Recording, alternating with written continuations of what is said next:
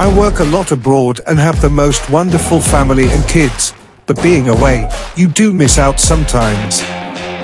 I really hope I won't regret the choices in the future.